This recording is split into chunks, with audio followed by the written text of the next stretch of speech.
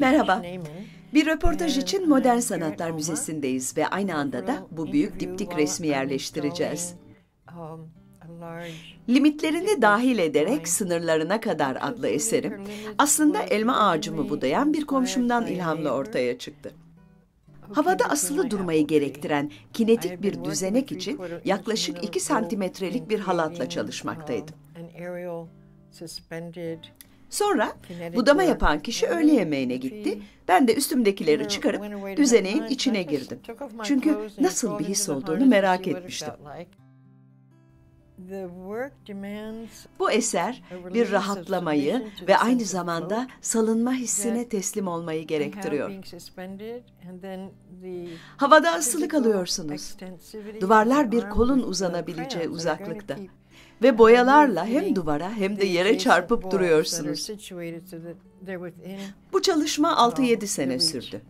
İpi, düzeneyi ve zaman aralıklarını değiştirip durdum. Bazen o alanların içinde yaşadım. Hatta orada uyuduğum zamanlar bile oldu. Zaman zaman kedim bile müzede benimle kaldı.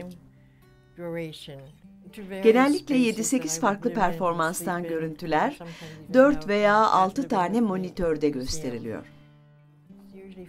Bu eserle ilgili en çok sevdiğim şeylerden biri ise benim ressam tarafımı ortaya çıkartması.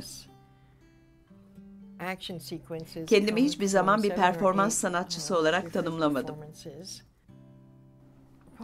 Açıkçası malzemeleri gerçek zamana ve gerçek mekana taşımaya başladığımda her şey kendi kendine oldu. Klaus Oldenburg Jim Dine ve Robert Whitman beni çok etkileyen isimlerdi. Bunun kişisel anlatımla ya da kendine bir şey itiraf etmekle ve kendini ortaya çıkarmakla hiç alakası yok.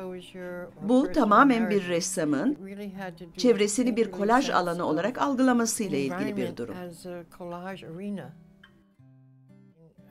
Bu eser Jackson Pollock'un eserlerine de göndermelerde bulunuyor boyutsal boşluktaki tüm fırça darbelerini ve vücut hareketlerini bütün bir beden olarak görselleştiriyor.